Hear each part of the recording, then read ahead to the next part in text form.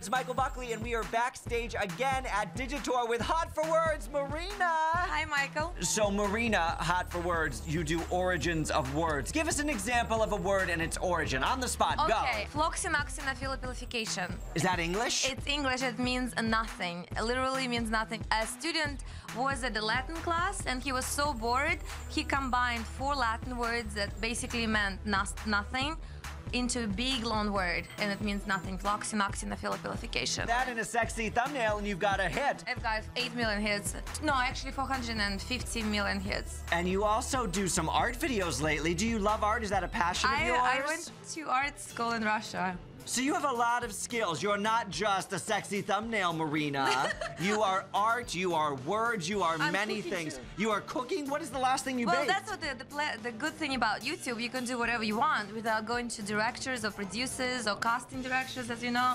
You can just make videos in your bedroom, in your kitchen, in your basement, and post it online. And if people find it interesting, you'll get a hit. You'll get viral. It's the best platform in the world, Yes. and uh, you know anybody can be a YouTube Anybody star. can make videos. Really? So what brings you to Digitour? How'd you get here? Well, um, Meredith, the founder of Digitory, she's my manager, and she asked me to be um, a co-host.